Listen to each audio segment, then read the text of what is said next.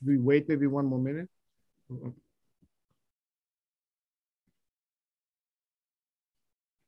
Uh, just to clarify one thing, uh, Nicolas, uh, I mean, when we are in the discussion period, you're going to monitor the chat, right? Yep. yep. Is that it? So that, I mean, you would sort of come in with, with those kinds of things. Yep. Yeah. Thanks.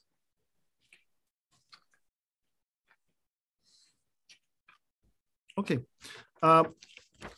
Welcome everyone, those who are um, watching us uh, on this webinar and those who are watching us on uh, YouTube. Uh, my name is Nicolas Prevelakis. I'm with the Center for Hellenic Studies.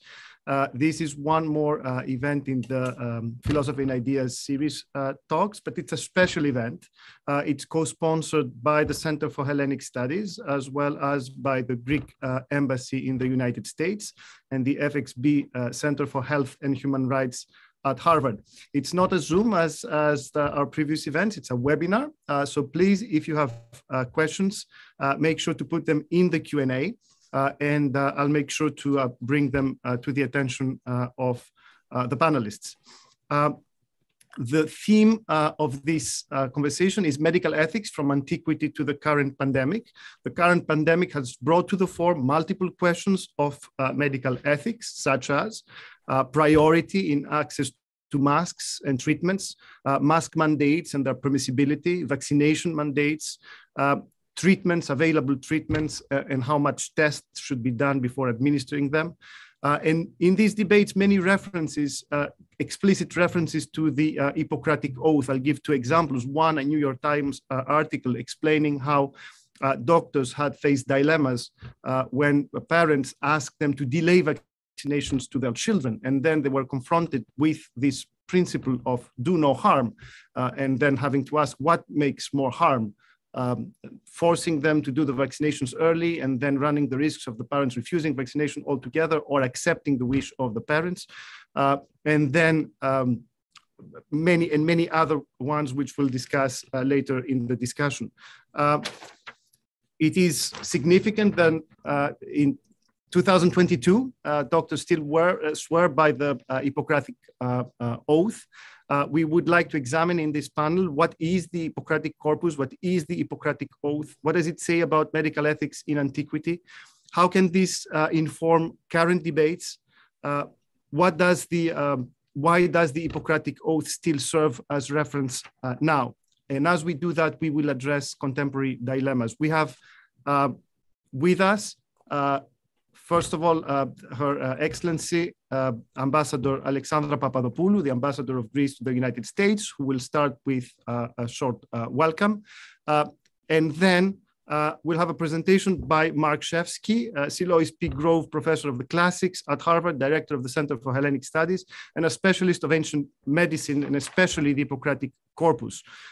joining him will be Richard Cash, Senior Lecturer on Global Health at the Harvard T.H. Chan School of Public Health, uh, who has done extensive work on cholera, diarrhea, tuberculosis in such in all over the world, including Japan, uh, Bangladesh, uh, and India, in efforts to eradicate uh, these uh, uh, diseases from all over the world. And last but not least, a dear colleague and friend, Natalia Linos, who's acting director of the FXB Center for Health and Human Rights, a social epidemiologist herself, and a person who works extensively today uh, on issues uh, related to climate change and systemic racism uh, and how they affect uh, public health.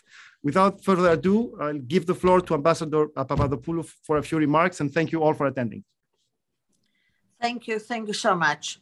Uh, welcome everybody to this fascinating and timely, if not overdue, discussion on medical ethics that were brought to the forefront by the global COVID pandemic. It is an honor for us at the Embassy of Greece in the United States to be partnering with Harvard FXB Center for Healthy and Human Rights and the Harvard Center for Hellenic Studies to ponder and reflect upon these last two challenging years, during which, which the devastating COVID pandemic has wreaked havoc with our lives, causing us to ask difficult questions and make hard decisions.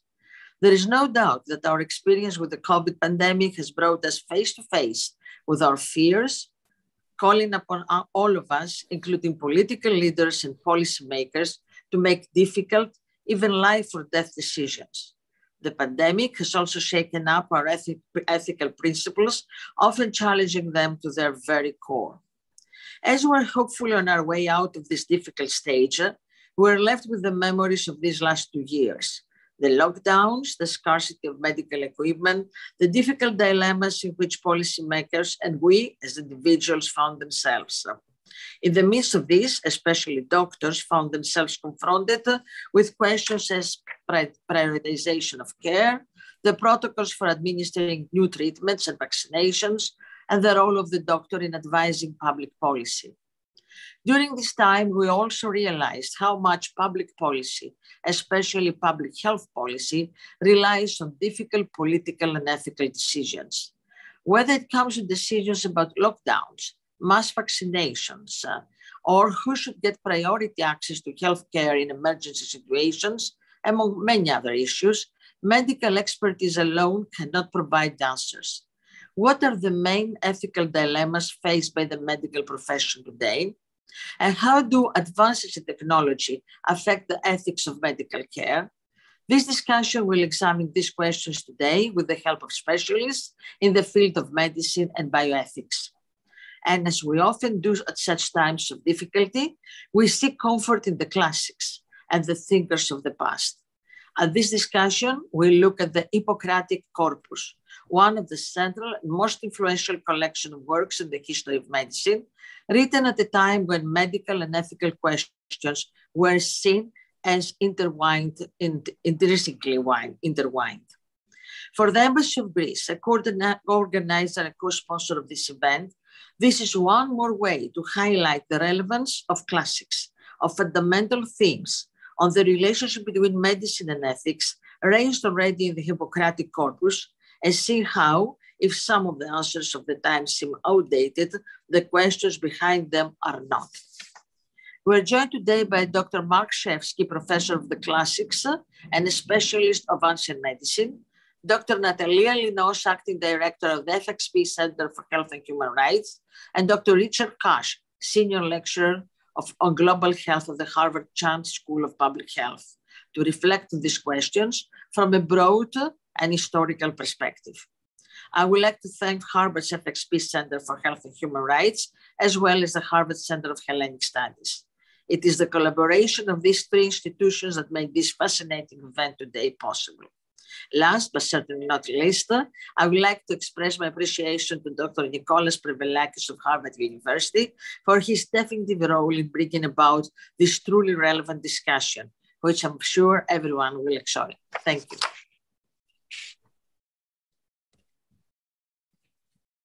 Thank you very much, Ambassador. And now the floor is uh, Mark Schiefsky.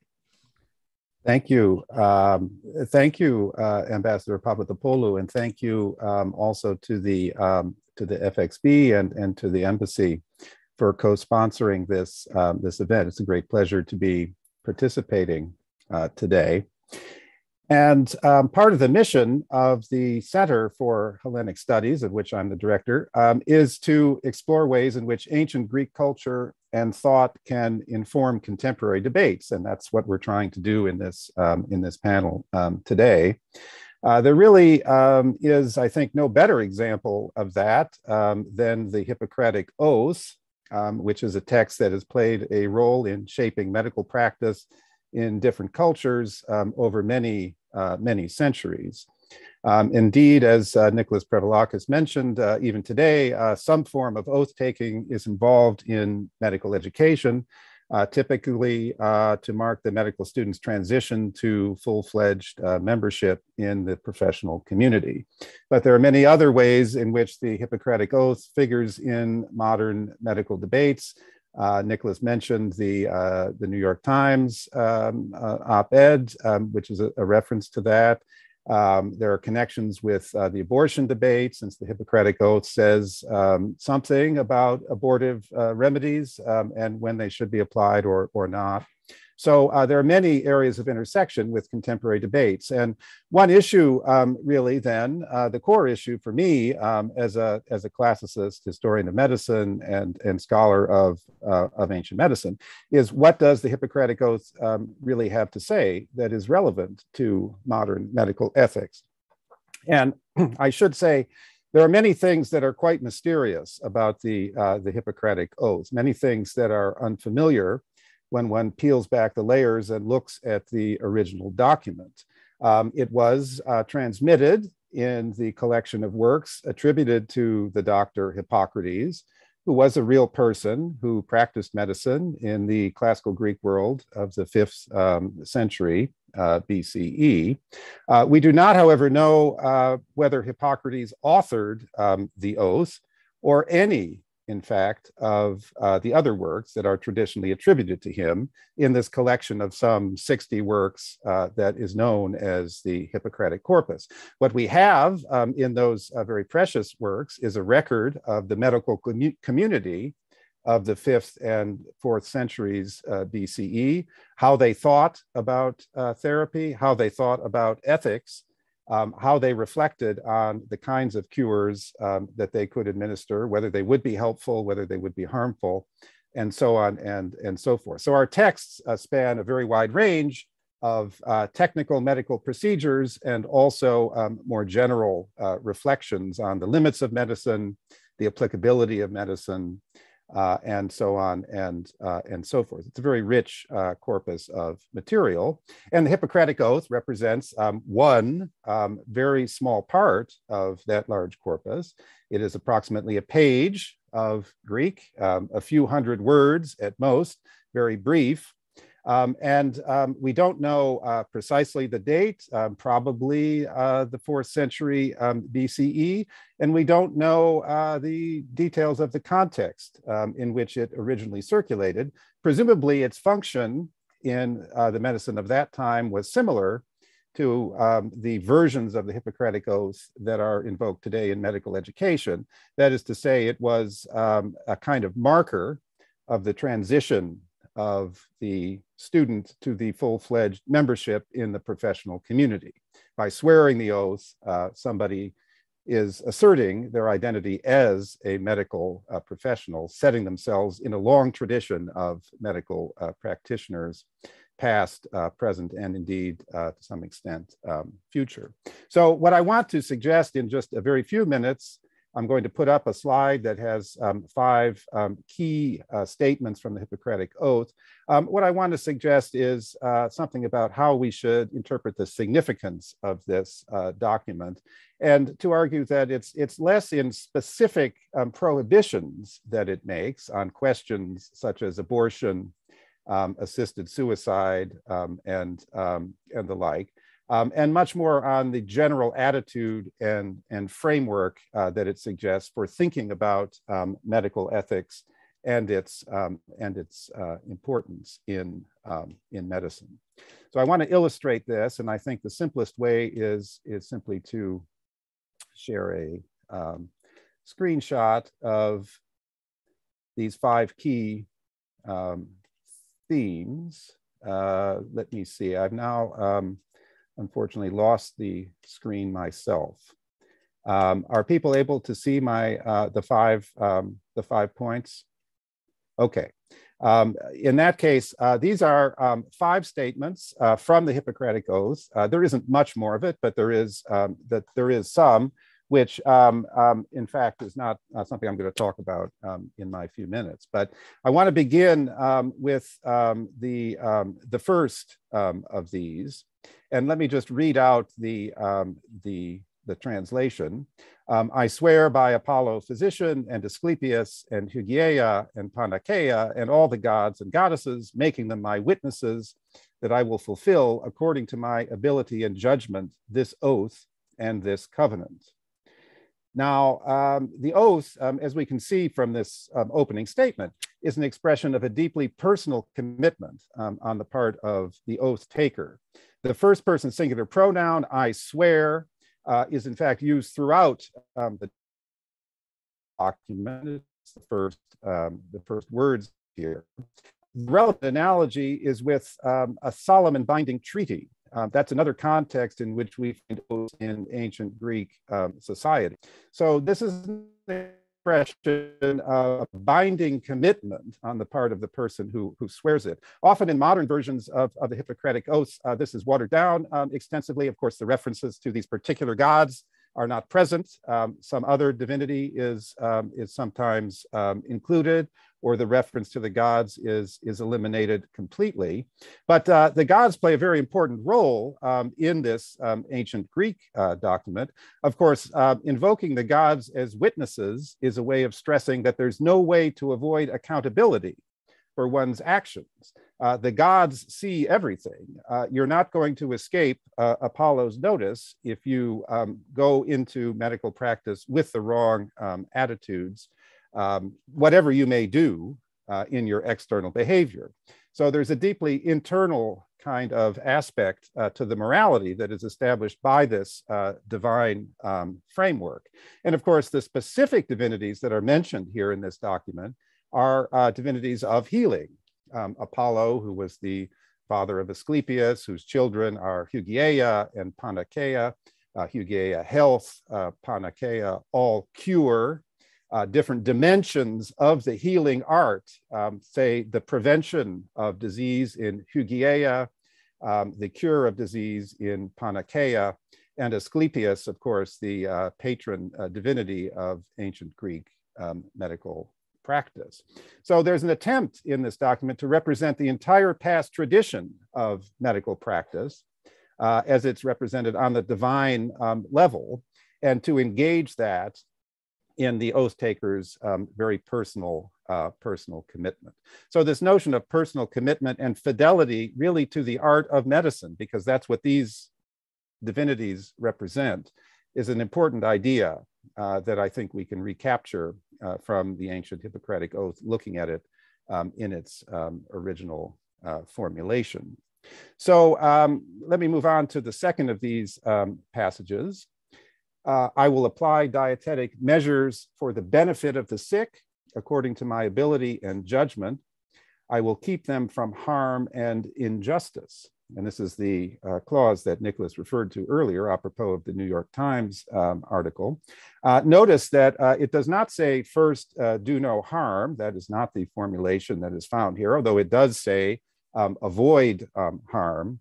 Uh, that formulation, first do no harm, which has been transmitted um, through the ages as uh, a sort of pearl of Hippocratic wisdom, is found in some of the other Hippocratic uh, texts, but it is not here um, in, in the oath. Rather, what this clause expresses is the idea, I think quite clearly, that um, medicine is not a value neutral uh, form of technical expertise. I will apply dietetic measures for the benefit of the sick according to my ability and judgment, I will keep them from harm and injustice. So the doctor um, is not meant um, to um, use cures which will not be helpful to uh, the sick. And certainly uh, the doctor should not apply cures in ways that are unjust. Now, the text does not tell us uh, what is beneficial. Uh, it does not tell us what is just and what is unjust but it encourages us to reflect on these concepts. Whose benefit indeed uh, is at stake here? Is it the patient's benefit? Is it the benefit of the society as a whole? Does the patient herself or himself get to define what is beneficial? Or is it some sort of objective good that the physician is meant to bring about. The oath does not tell us uh, the answers to those questions, but it does pose the questions and serve as a framework for reflecting on them in the context of this deep uh, personal commitment to um, the ideals of the medical art. So, in its rejection of the idea that medicine is a, is a sort of value neutral uh, technical expertise, uh, the oath, in fact, uh, takes a stand against um, a conception of technology that was indeed in the air in the fifth century and the fourth century uh, BCE. Um, the Greeks of that period uh, knew uh, something that they identified as technology. They knew about mechanical inventions, um, they knew about various technical improvements, and there was a debate about whether these things are harmful or helpful, and the idea that they're value neutral. Uh, they can be used for good or for ill, um, is, is certainly found in Greek thought of the period. But medicine, according to the Hippocratic Oath, is not um, like that. It is not something that um, one can simply consider in abstraction from these ethical values. So that is something that is quite clearly uh, affirmed here by the um, Hippocratic Oath. Doctors cannot avoid applying their judgment. Note the term judgment here, that is quite uh, emphatic in, in the oath, uh, their judgment on these questions of, um, of ethics. Now, the third uh, clause that I want to put before you very briefly is the famous clause about abortion and perhaps uh, assisted suicide. I will neither give a deadly drug to anybody if asked for it, nor will I make a suggestion to this effect. Similarly, I will not give to a woman an abortive remedy. So the first of these clauses, um, I will ne neither give a deadly drug to anybody if asked for it, nor will I make a suggestion to this effect, is often understood as a prohibition on assisted uh, suicide. Uh, the second um, as a, a, general prohibition on abortion, and that's indeed the way it looks. Uh, similarly, I will not give to a woman an abortive remedy. Um, and these are, of course, striking features, which, as I said, have been invoked. Uh, the Hippocratic Oath is discussed in the Roe v. Wade case, um, the, the write up um, of the case by the Supreme Court. Um, so it's, it's important to be clear about what we know about what these passages mean and, and what we don't know. Um, the interpretation of the first clause as talking about assisted suicide is not, um, is not entirely clear. Uh, potentially, uh, what is being said here is simply that doctors are not supposed to supply poisons uh, to people, um, deadly drugs, uh, for whatever purpose. Again, the person whose benefit is in question is not, um, is not uh, specified. It may refer to assisted suicide indeed, but it, it, also is formulated, at least in a way that potentially gives it more general um, significance. And of course, the ancient doctors knew quite a bit about drugs and which ones could kill you, just as well as they knew about which ones could, um, could help. Um, as for the abortion um, reference here, uh, in fact, this uh, translation that I give you, which is the translation of the great uh, historian of medicine and classicist uh, Ludwig Edelstein, is slightly misleading uh, because the word remedy is um, a bit too general. In fact, the word remedy uh, is translating the Greek word peson, uh, which should be translated as pessary. That means a vaginal insert uh, that was um, coated with some substance that was thought to bring about an abortion. So the reason that that's important is that it may be the health of the mother that is at stake um, in this clause rather than the survival of the fetus, because those kinds of vaginal inserts were recognized to be particularly dangerous, uh, dangerous kinds of ways of provoking abortion. Uh, abortion in the ancient world, of course, has a very long history and it was uh, practiced um, extensively. Um, on the other hand, what we have here may be a recommendation to avoid a particularly dangerous form of abortive remedy uh, that could harm the mother um, as much as it would harm the fetus. So uh, we should be very careful about taking this as a blanket uh, prohibition on abortion out of some sense that for example, life is sacred or, or what have you, that, that, is, not, um, that is not clear uh, in, uh, in this uh, document.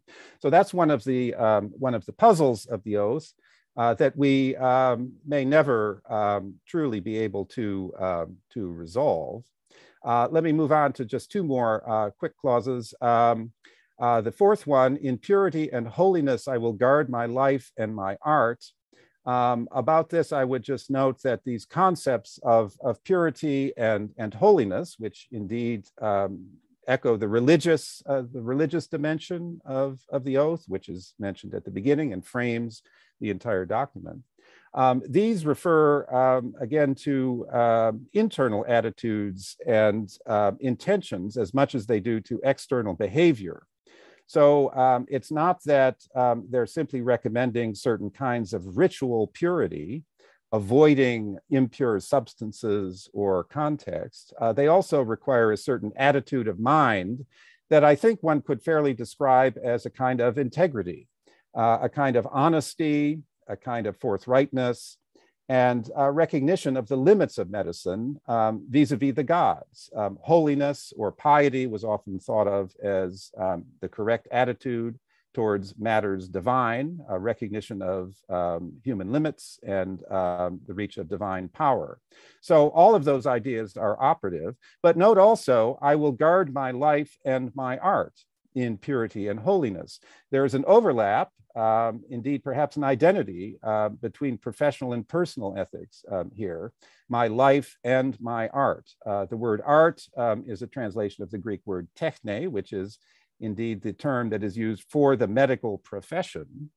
But uh, here, uh, the person swearing this oath um, is enjoined to uh, observe these principles of behavior and these, these mental attitudes, um, both in their life and in their art. Um, it's not that you should adopt a different persona when you're practicing medicine from the one that you adopt um, when you're a person, or put another way, you can't really be a good doctor without being a good person. I think that is um, one way of uh, interpreting um, this overlap between life and art as we find it um, in uh, the oath. And that um, overlap is indeed echoed again in the fifth and final of these um, clauses. If I fulfill this oath and do not violate it, uh, may it be granted to me to enjoy life and art, that same overlap, being honored with fame among men for all time to come. If I transgress it and swear falsely, may the opposite of all this be my lot. So uh, there's a great deal of accountability here in this uh, statement. And indeed, the accountability is, is towards the medical art um, and the fulfillment of the oath, the use of judgment um, according to one's ability in the way that it has been uh, previously specified. Reputation, being honored with fame among all men uh, for all time to come, this reputation depends on one's um, fulfillment of the oath, does not depend on um, external achievements, on how many prizes you get, on whether your colleagues um, think highly of you, on whether your patients think highly of you. It is whether you have acted um, in the correct um, moral and technical way in your medical practice. So that ideal is, I think, something that is um, indeed uh, worth uh, recovering um, from this document and capturing in terms of our current um, medical um, ethical uh, dilemmas and, uh, and debates. And I think that that, that kind of ideal is um, what explains uh, largely the, uh, the historical legacy of this document, why people have been um, attracted to something like this statement of principles um, over the um, over the centuries. So um, that's all that I will say about the Hippocratic Oath. Uh, just tried to uh, bring out uh, the key features that I think we can uh, take with us for our discussion. I look forward now to the rest of the uh, discussion. We'll stop my screen share. Thank you. Thank you, Mark. And without uh, any transition, I uh, want to ask uh, Richard if you have any um, general comments. Uh, yes, thanks very much. That was a, a very uh, nice rendering of an oath that I took many years ago, many, many, many years ago. Uh, and I think I would certainly agree that it tends to focus on your values as a, a member of the profession and uh, your integrity, things of that nature.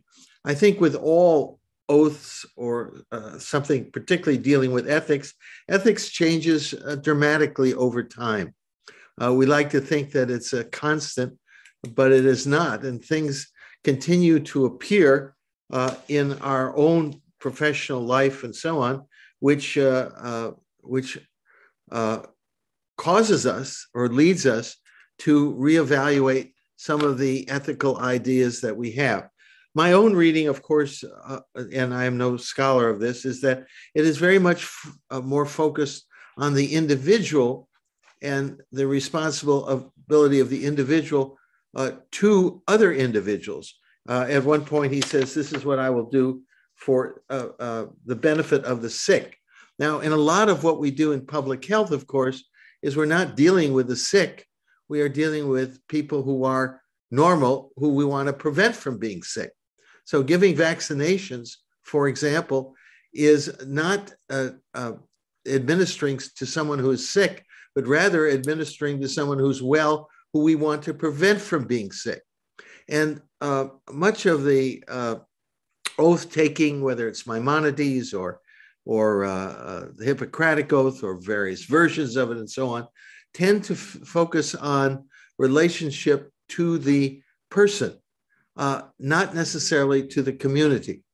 Uh, public health is really, as we know it today, is much more of a function of the last maybe 150, 200 years, where we tended to look more upon the, uh, the all of the people. And so we have ethical dilemmas.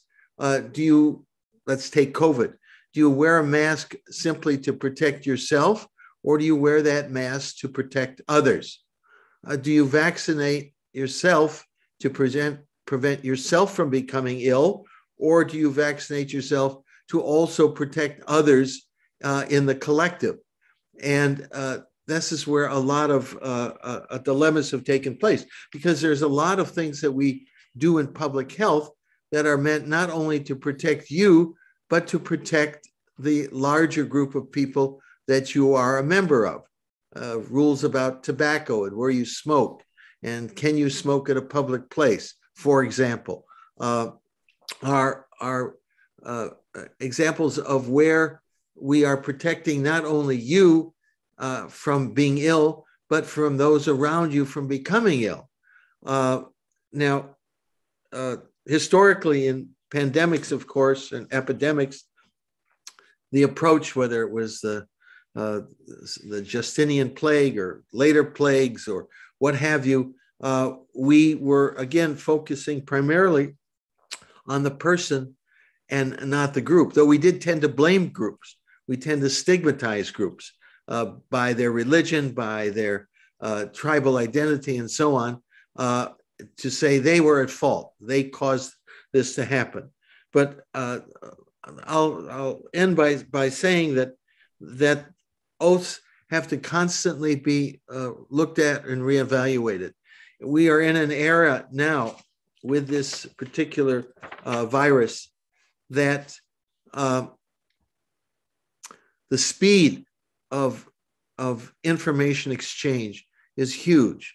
The movement of people is uh, far greater than we have ever seen uh, through uh, uh tra- air travel and so on.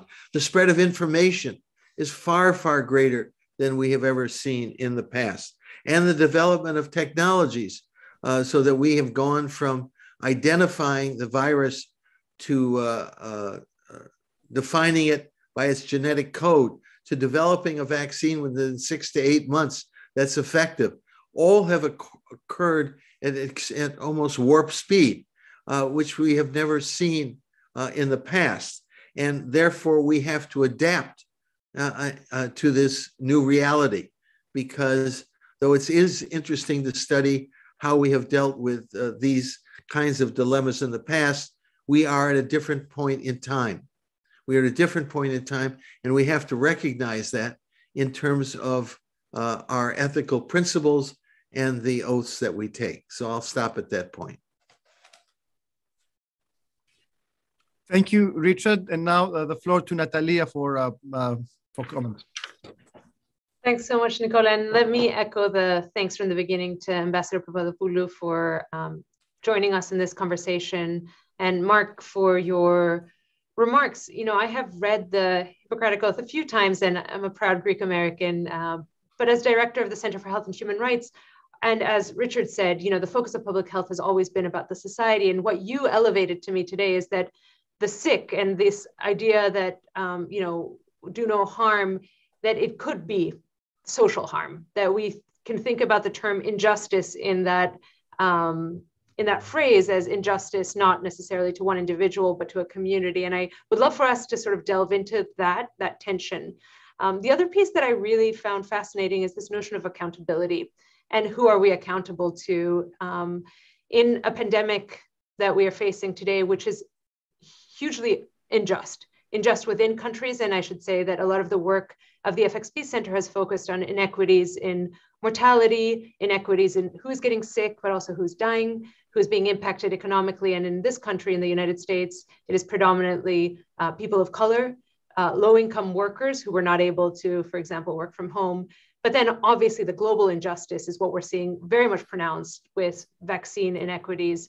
Uh, right now, 70% of kind of high income countries have people living in high income countries have received at least one vaccine, but the UN says that it's less than 15% in some of the lowest income countries, uh, including parts of Africa. And that's true not only for the general public, but even healthcare workers. So this accountability, I, you know, if it is looking to the gods or looking to sort of our global collective injustice, who are we accountable to? Is it to the people who have been most impacted, sort of a, a bottom up accountability, or is there kind of a role for this moral, you know, revival in the conversation around what is just and what have we um, succeeded? You know, in, in many ways, there's a lot to applaud uh, for the medical professionals, for the public health, for the scientists who have brought us to a place where there is a vaccine, there are therapeutics, but there's a clear, clear injustice in terms of um, who has access to them. And, and I would love for us to, you know, to grapple with that a little bit, um, not to take us in an opposite direction from where we were, were going, but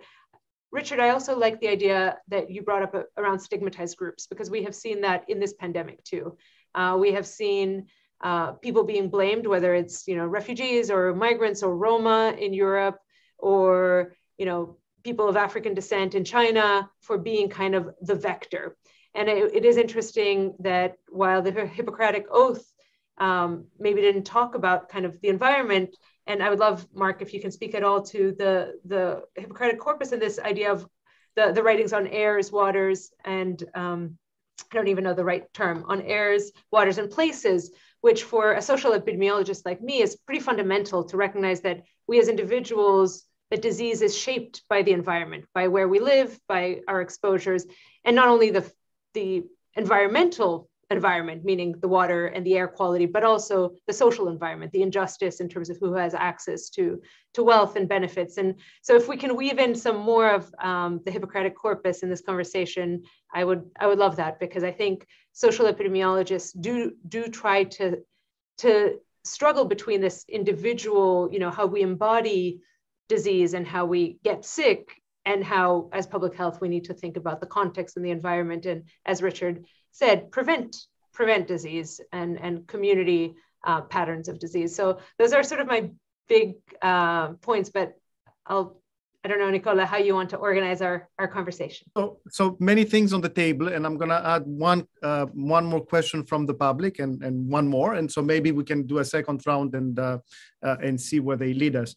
Uh, the first question that comes from the public is very general, and I think speaks to uh, what we, we had been saying, and and that is uh, what changes would we make or how would we expand that oath um, in the current uh, context? It's pretty broad. Uh, the second one has to do with uh, what um, Mark um, said in the beginning about judgment uh, and about uh, medicine not being value neutral.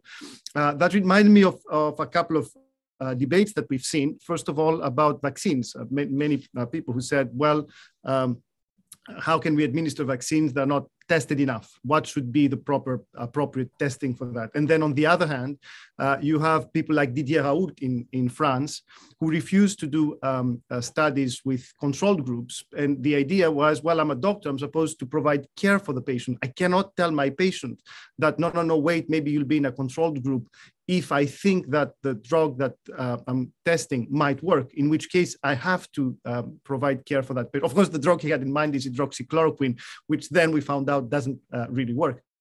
Well, that's another story. Uh, but there was this uh, uh, this kind of um, debate.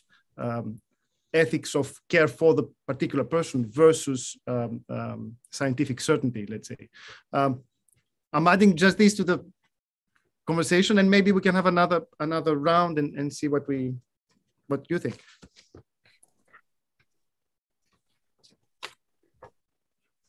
maybe mark okay, well, should should i um, just um, maybe yep. say some things and um, you know just to pick up on your point that you just raised um, about um, you know the ethics of, of, vaccines and so forth i would just throw in um, you know, we, we tend to, and we should um, celebrate the rapid development of these vaccines. Something that I've never really seen discussed is uh, the impact on animals um, that um, would have been um, necessary for this. Uh, the kind of animal testing um, that was obviously essential uh, to um, the development of vaccines in this rapid time, and, and the general assumption that I suppose um, the sacrifice was worth it. So I, I, mean that is a an ethical issue that um, I think we often um, leave uh, leave aside um, focusing on the human condition. And of course, the ancients uh, were not worried about um, animals uh, and um, their reactions. Indeed, there's a long tradition of animal vivisection in antiquity, which shows that to unfortunate clarity. But um, on the, I would connect that, in fact, with this idea of our ethical perspective is always being updated, um, as um, as uh, Richard mentioned, and it needs to be updated, and we need to update our thinking uh, based on changes in technology, changes in circumstances, and changes in uh, perspective. Um, we look back on the way animals were treated in antiquity, I think with some um, horror, we can. Uh, future generations may look back on us uh, with some horror at how we treat um, animals. So um, when we're trying to evaluate the significant, uh, significance of an ancient document like the Hippocratic Oaths, I think we need to have a certain moral clarity, um, the oath mentions uh, the distinction between free and slave um, without um, any um, hesitation. Uh, that was, of course, a feature of ancient society. We have to have moral clarity about, um, about that, uh, but also realize that uh, future generations, um, as the oath indeed mentions here at the end, future generations will judge us for our moral perspective and may find us wanting.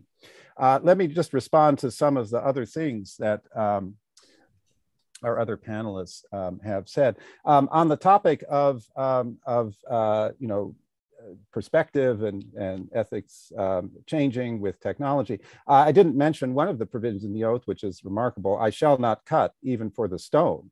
Um, this is something that we can hardly um, uh, take on as, as part of um, medical practice today. Um, obviously, surgery has become a safe and, and effective component of, um, of medical care. Um, and um, you know that's something that is connected to the specific circumstances of the origin of this uh, document, and it's not something that um, we're going to want, I think, to, um, as it were, carry um, carry with us. Um, on the topic, uh, it's a very interesting issue. I, I, thought about it a little bit. the fact that the oath is Hippocratic oath is focused on the individual patient-physician interaction. And um, a lot of what we're talking about with COVID now is, is about uh, the individual and society and our, our, obligations to others. And as uh, Natalia said, uh, that one, uh, the second clause that I mentioned, um, I will apply dietetic measures for the benefit of the sick according to my ability and judgment. I will keep them from harm and injustice. Uh, can be construed as, as broadening the perspective. Um, I will uh, do my best to prevent um, medical uh, technology from being used for injustice.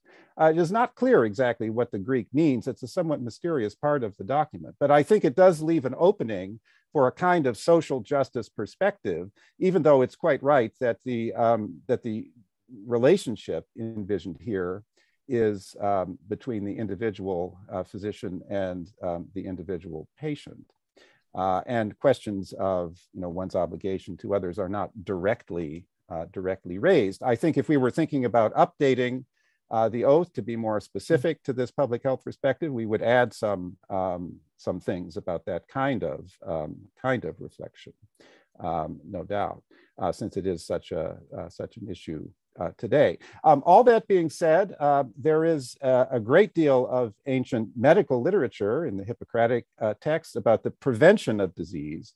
Mm. Indeed, um, um, that is um, indeed uh, what a large number of the texts are about. How can we best uh, prevent disease through various uh, social practices, also dietetics? Um, this mention of, of regimen in this clause, I will apply dietetic measures uh, for the benefit of the sick. Uh, dietetics was indeed uh, a part of ancient medicine that was focused on maintaining health as much as it was on, on curing health. So that um, aspect of prevention um, is, is lurking here in the background, although um, the document does not, um, does not directly um, address that. And um, perhaps, you know, along those lines, I mean, the whole question of the environment uh, the role of the environment in health, in what the doctor is supposed to do is indeed a very important question in the Hippocratic uh, texts, not um, again directly uh, referenced in, in the Hippocratic Oath, but the text um, airs, waters, and, um, and places, uh, which uh, Natalia uh, mentioned, uh, does um, adopt a sort of public health perspective uh, in that text, the itinerant uh, physician is imagined as um, going around to different cities and evaluating the environmental conditions that um, are going to be responsible for the breakout of certain diseases in the course of the year. So some cities are more healthy than others based on their geographical situation, based on their, um, based on their rivers, based on their lands and, and so forth. So that perspective um, is, is very much one that um, you know, the ancient uh, texts adopt. And indeed, the historian of medicine, uh, Charles Rosenberg, um, has, um, uh, uh, has written about the airs, waters, uh, places perspective, or the airs, waters, places view, where we step back from the biological um, uh, disease, from you know whatever um, you know, virus is causing uh, the illness and look at the social factors, look at the social environment, look at the, the physical environment, um, and consider all of those. Because if we're trying to prevent something like COVID, of course, all those questions are also relevant um, and crucial, um, much more than knowing the, uh, the genetic cause uh, of the disease or the virus. Uh, that's, uh, I mean, it's equally equally relevant. Uh, so we can talk more about the environmental perspective. It's, it's very much present. I would also just uh, add one reflection, which was in the early days of COVID, um, I thought that our perspective was actually quite similar to that of the ancient um, doctors uh, in the sense that we had no idea uh, really uh, what was uh, governing this thing, how dangerous it was, what would protect us um, from it. I mean, we were told um, various things by experts, but they didn't really know uh, in that time, and, and that was appropriate. Science um, advances. But the uncertainty uh, that was prevalent in the early days, say March, April, May 2020, um, uh, had us in a situation that um, you know was not so different um, from pandemics in, in antiquity. Thank you. Thank you, Mark. Uh, Natalia, Richard, have any? Go ahead, Natalia. All right, thanks, Richard. I mean, I think your last point about, um, yeah, the uncertainty in scientific advances and how, you know, knowledge is created and the role of doctors brings us into a completely different um, part of this Hippocratic Oath, you know, doctors and public health experts have suddenly been in the limelight and political and politicized because COVID is so political. And, you know, the, this piece of judgment that there's individual judgments and that there's actually real debates even within the community around how to approach different questions, I think is important that people are people, but they're also representatives of a field that has now gotten some status. And, you know, that links a little bit to your point, Nicola, your question around you know the the judgment value neutral and and you know going back to this idea of do no harm i to i ponder on the question of do you know the status quo is has clearly showed us that there are really really deep rooted health inequities right so what exists right now is a system where some people have really healthy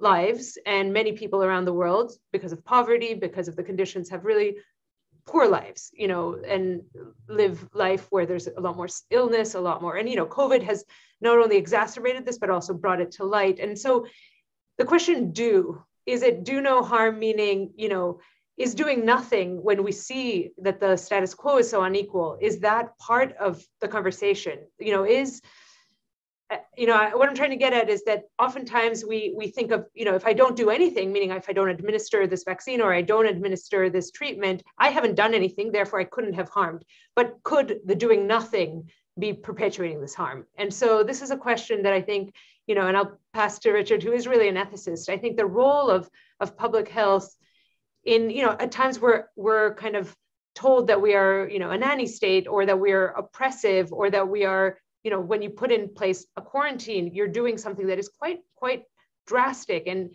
you know, is that, um, should that be allowed? Because we are doing something, but in the absence of doing nothing, it would bring about, you know, mass deaths um, and, an, and inequitable death. You know, the people who were able to protect themselves would. So, Richard, I feel like I'll pass it to you on some of the ethical dilemmas um, that I know you teach about too. Sure. Thank you.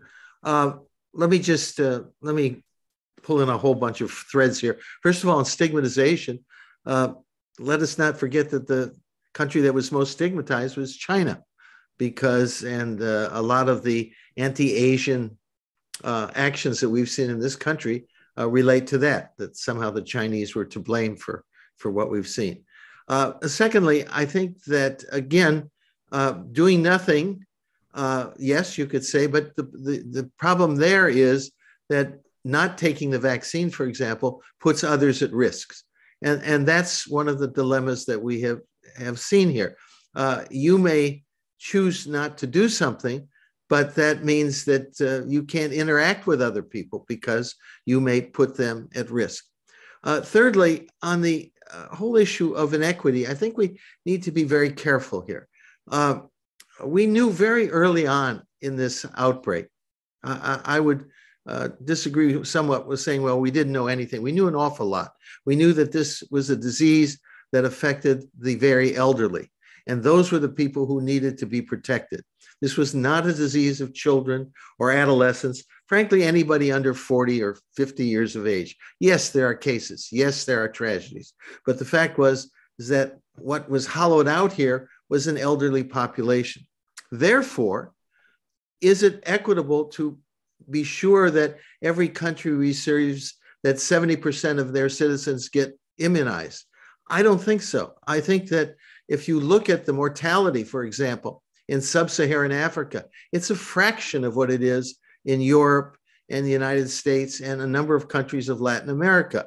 Uh, I would not advocate immunizing everybody in, uh, uh, in sub Saharan Africa because their demography protects them. They are very, very young populations, and therefore the mortality and morbidity in those societies is going to be very low.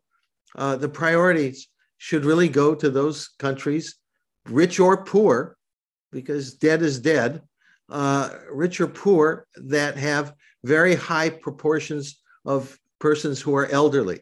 Ecuador, Peru got wiped out by this pandemic.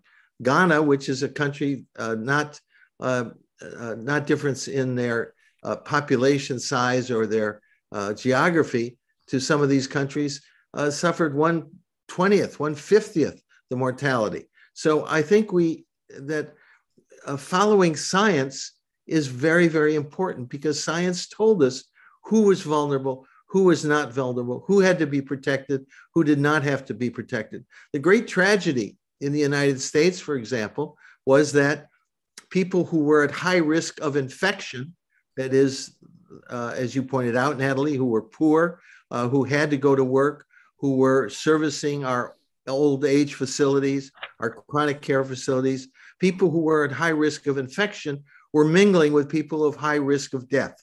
So you had a perfect storm. You had people who with high rates of infection mingling with people treating them because they were their they were their caretakers uh, with a very high risk of mortality. That's why I said earlier we need to uh, constantly look at our ethical principles, and I think that uh, uh as was pointed out by Mark, uh, the important guidelines in the Hippocratic Oath are how you behave as a person uh, of a particular profession, not the ins and outs and should you do this uh, in this situation or not, because those situations uh, are going to are going to be changing, uh, are going to be. Uh, uh, it's a Heraclitus, one of your other compatriots, who said you can never step in the same river twice. And uh, uh, so ethics are going to change as uh, as we develop cloning and uh, um, uh, and other uh, situations that we are now facing. And that's what we have to be constantly aware of, and where discussion and transparency is absolutely critical in a society developing and negotiating what should be the ethical guidelines that, and these are guidelines that uh, uh, affect us not just as providers, but the general public as well, because these principles also refer to people and the decisions that they take in their own uh, role as someone who can give illness or prevent illness. It's not just the doctors who are doing it, it's the people who are under our care, the, the, the, uh, the public who has to decide what they're going to do to help prevent illness in others. That's not simply a medical uh, decision, that's a public decision. Thank you. Thank you. We have a few more minutes. I want to throw just one more question, which synthesizes much of, of what uh, I, I, got from, um, uh, from the public, uh, and then ask for your comments. And that has to do with uh, actually, Richard, what you said about following science. Uh, which has been a theme during this uh, pandemic, and the relationship between science and expertise on the one hand and politics on the other. Uh, we, when we talk about social justice or about expanding our ethical horizon or about priority, uh, prioritizing the vulnerable or, or, or prioritizing humans against uh, animals. Uh, it seems that science can give us facts. It can tell us, for instance, how much uh, animal suffering is needed to provide for vaccines or how many people will die in XYZ scenario and who. Uh, but then we end up with uh, a choice. And the choice, it seems to me at least, has to be political. Somebody has to decide. Uh, and at times, that's, that's a question for everyone. Uh, do you feel that we lacked a healthy public dialogue uh, and instead, we were trapped into thinking that somehow some experts might give us the uh, answer uh, and, um, and, and somehow um, in, in ways that maybe they, couldn't.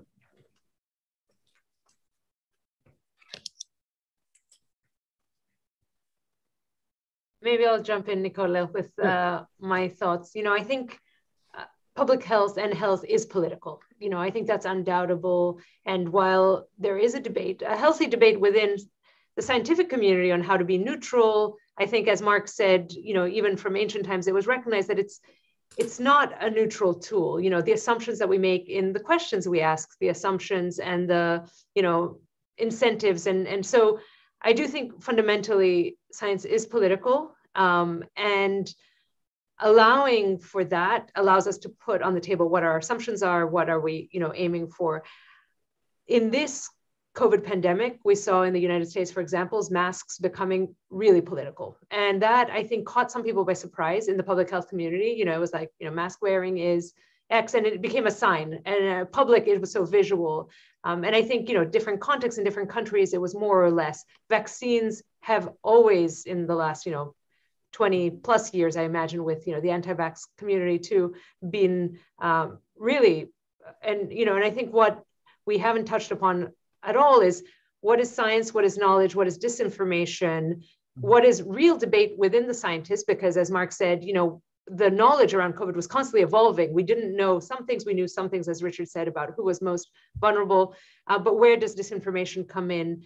I think the role of the public health community, what I'm really excited about, why we're having this conversation, is that in many, many of us, whether we're trained in public health or medicine, we don't talk history and it's very apolitical the training. And sort of bringing together a historical lens and a political lens and the science together forces us to talk about some of these trade-offs. And in the end of the day yes the trade-offs it will be a politician. And most importantly it happens at different levels. At the local level you may be making decisions about mass mandates but it might be at the federal level that vaccine mandates. So some of the complexity also happens around who has the power to make the decisions. Um, but I'd say, you know, the conversations, I have seen many more public health and doctors become political because of COVID's impact. And I actually think that's a positive step, but I'm sure others disagree. Um, following on what uh, uh, Natalia has said, I, it certainly is a, uh, the final decisions were obviously very political. Uh, I think one of the, when I said to follow the science, I mean those individuals who also interpret the science. I think some of the mistakes that made in this country and maybe others was the messages were not always clear. Mm-hmm. And and scientists are not always the best people to deliver those messages. They're really they make very bad uh, witnesses in court trials because the uh, uh, opposing attorney says, "Well, is it possible Dr. Cash, that somebody could have O.J. Simpson's uh, genetic makeup and, and, and the same DNA. And I say, well, yes, it's possible. Ah, so you say it's possible. Well, yeah, but you know, the, the chance is one in a billion, but it is possible, right? Oh, yes, it's possible because people working in the scientific field are uh, very rarely absolute because they recognize things can change. Now, how do you translate that uncertainty to messages which are very clear and which the public wants to know should I wear? Should I not wear? Yes or no? Uh, and sometimes I think what happened is that scientists, scientists' uncertainty uh, crowded in and made those who would take advantage of that uh, uh a problem. So uh, I quite agree with you, Natalia, that it's ultimately a political decision. So, how do you translate our scientific understanding uh, or our knowledge of something into a, uh, a message, uh, a communication, which people have then have to respond to. And I think that's a that's a huge challenge uh, that all of us face because in the academy we're always asking questions. That's what that's who we are. We that's our DNA, so to speak. Um, uh, we deal with uncertainty, uh, and yet within decision makers, and I don't know what happened in ancient Greece. Did the did the uh, uh, did the senates uh, issue mandates or, or or not? I have I have no idea, Mark. So how did how did uh, ideas of Hippocrates or others get translated into what was then ancient Greek policy? They had to. They, there had to be some mechanism for doing it. How was it done? Right. Well, uh, uh, yeah, on that uh, topic, uh, it's a very interesting problem um, because uh, if we think about the ancient Athenian context, um, you know, Athens uh, in the fifth and fourth centuries BCE was a democracy in a very strong sense, which is to say, the citizen body, um, male adults, made decisions about the polity uh, everyone directly. And so, how you can actually implement um, something like scientific expertise, such as there was in the day, into public policy um, is a big um, is a big question. Now, somehow the Athenians managed um, to do it um, because you know they built the Parthenon and so forth. I mean, this required uh, substantial expertise of of certain kinds um, mobilization of resources, keeping of records, um, that kind of thing. How they were able to do it um, is uh, is not entirely uh, entirely clear. Um, it's possible that um, it depended on um, certain public slaves uh, for expertise. Uh, that the the polity was so radically egalitarian about knowledge that only those who were not members could have specialized expertise.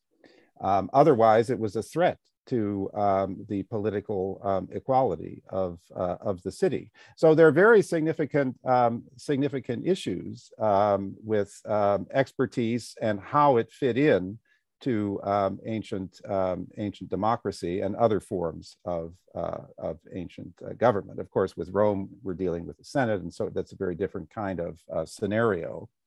Um, but um, but yes, so I think that um, that's another area where the ancient experience is useful for uh, reflection on the question: who gets to decide about um, you know the implementation of things that are supposed to be for the benefit of everybody? Um, who is going to make that decision? Is it a group of specialized experts, um, be they members of the community or not? Um, or um, is it the community as a whole who decides on that question? Um, the Athenian um, experiment uh, attempted to balance um, both of those um, both of those things. so yeah, I mean the uh, the notion of following the science again, I think is, is quite interesting. I guess uh, we're we're nearing the the end of our conversation, but uh, I mean, Nicolas, do you? I think we we have a couple of minutes. Yes, please. Yeah, well, I was just going to to say that I mean this is a problem of demarcation. Um, you know, what is the boundary between what the science says and what the science doesn't say? And and you know, as you say, uh, Richard, I think I mean, a lot of the problem comes from the fact that people are not aware that science is uncertain, right? I, I mean, uh, science doesn't um, uh, give us deductive certainty about um, about the world. Um, it gives us um, probability, sometimes at a very high level of, of reliability. Um, you know, it's a 99.9% chance of such and such but uh, greater awareness of that point, which I, I think is perhaps, I mean, a, a negative uh, uh, part of the legacy of the ancient Greeks, uh, the idea that science um, is demonstrative certainty, um, as we have in Euclid's geometry or something. Uh, this is another part of the, the legacy of, of uh, ancient Greece, which perhaps still lives on in a, in a negative kind of, um, kind of form. So yes, I mean, being aware of this, this uncertainty in scientific judgments uh, seems to be fundamental to the problems that um, that we have had um, in communicating COVID discoveries and uh, procedures to the public. Thank you, thank you, Mark. We're slightly over time, so maybe Natalia, you want to uh, um, say a few words of conclusion? Yes, thank as, you so uh, much. As FXB uh, partner. Thank you so much, Nicola. And, and let me start by saying thank you again to the Embassy of Greece, Ambassador Papadopoulou, but also uh, Connie um, who helped organize tonight from the Center for Hellenic Studies. Obviously, the two of you, Mark and Nicolas, but also Ali Marby, Marbry and uh, Megan Daly from the FXB Center. And Richard, also huge thanks from the Harvard School of Public Health for joining us today.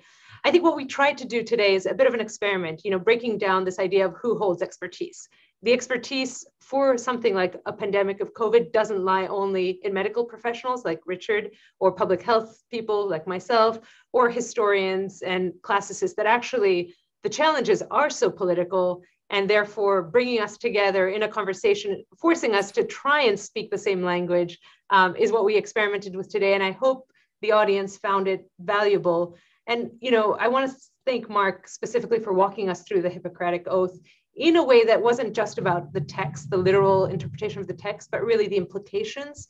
And I come out of this conversation uh, echoing what Richard said that the ethical norms and the technologies change, but actually having some agreement as a society of what those morals are maybe is a foundation for making some of those political decisions.